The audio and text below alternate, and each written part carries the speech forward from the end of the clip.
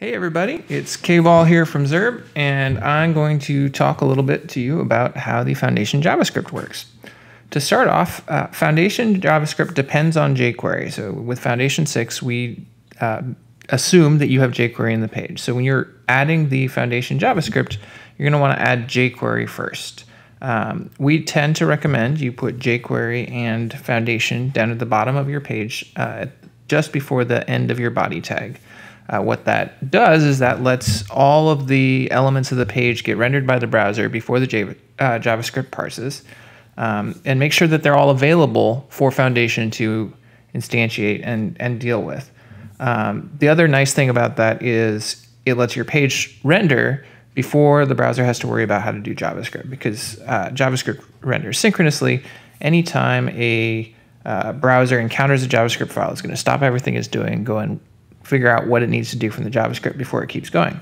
So putting your JavaScript down at the end of your body rather than up in the head lets the page mostly render, giving a, a mostly complete user experience before um, pausing to do the JavaScript.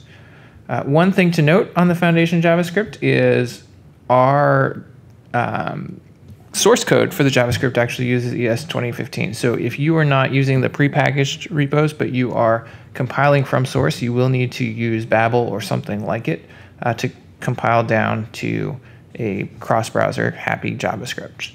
Um, Foundation's plugins ship independently. Uh, so we ship a minified, compacted file that if you're using everything, you can do it, or you can install uh, different plugins independently. Uh, you'll need to install the core first. You can do uh, utils. You can pick and choose which plugins you want to do. Um, and as once you've got everything in the page, you are then going to instantiate Foundation on the page. I mentioned we're using jQuery. You're going to grab everything on that page in a jQuery selector. So grab the whole document, call .foundation on it to initialize it. That tells uh, Foundation to go through everything that you've sent in, that whole page, and look for Foundation data attributes, which are what tell it um, how to, to make things behave an important note from this. If you're putting new content in your page later that you want to have foundation functionality, you will need to call foundation on it. So if, for example, you have some Ajax, you drop it in place, um, drop in new HTML, you can grab that all up in a jQuery selector, call foundation on it. That's how you instantiate any particular section to have foundation behavior. Foundations plugins use data attributes for communication. So Foundation keeps this nice clean separation of uh, concepts. It will use classes for styling. It will use uh, data attributes for talking to JavaScript, and it will use um, IDs for targeting. Um, so if you have something that is for has dynamic behavior, for example, uh, in the docs we mentioned, here's a tooltip. Um, the data attribute data tooltip is what's specifying that. And if you're going to add additional behavior or pass additional options, and we'll talk about those in a sec, you're going to use data attributes to do that. Um, a whole slew of foundation uh, components have interactive components. You can actually see over here on the side, any of these that has a uh, JS stamp is using JavaScript to create some sort of interactive behavior. All of those different plugins uh, that use JavaScript have a lot of settings that you can configure. And we'll actually go through real quick uh, how, where you can see what settings are configurable. But you can configure those either globally. So in this example here, uh, we're configuring the global defaults for the accordion plugin. Um, or you can configure them on a per plugin or per instance basis by passing in data attributes uh, using the uh, kebab case of data attributes. So if I'm setting the slide speed to be 500, if I want to do it for all accordions, I can do it like this before I instantiate. If I want to do it for just one particular one, I can pass in it in as a data attribute. You can also bulk pass in options using a single data options attribute. For example, if you're using data attributes for something else. Um, so here you could do data options, you know, slide speed 500 or multi-expand true.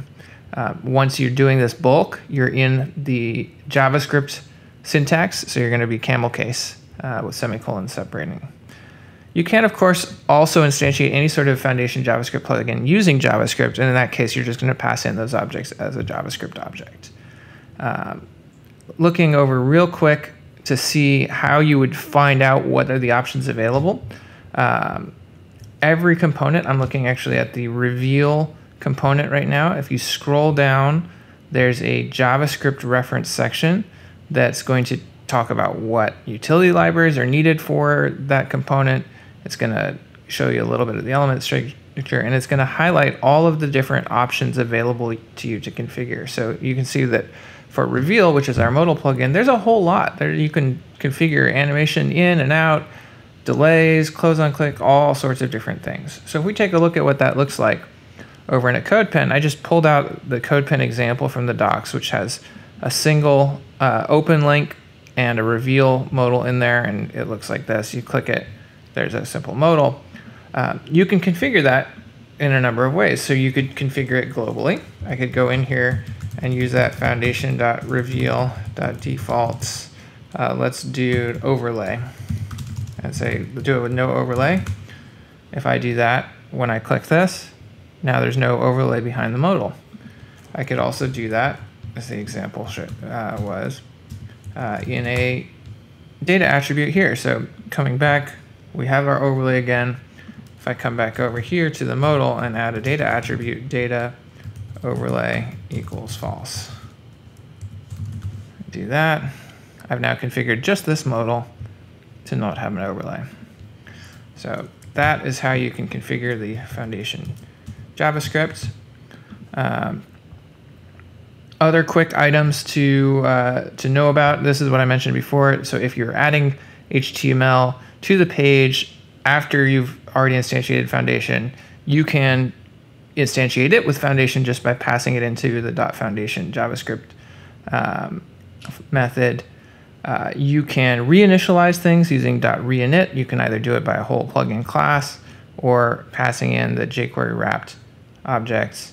Um, all of these JavaScript plugins are accessible with JavaScript, though for most situations you actually don't need to use JavaScript because you're going to be just if you're using the basic case, you can just uh, instantiate with data options. Um, also, any particular method uh, or plugin has a set of methods available. So, for example, reveal, if you look down, methods available, it had open, it had close, it has toggle, all of these things. You can access those through a helper method if you only have access to the DOM. So, when you instantiate a plugin, it creates a whole JavaScript object that gets hooked up with those DOM objects. You don't have to know where that JavaScript object lives. Just grab the DOM object associated with it, call the dot foundation helper method on it, and then pass in the name of the method that you want. So in this case, open, if I go over here and I want to open this thing programmatically, I can do that by grabbing my reveal, example modal one, calling dot foundation on it and passing open.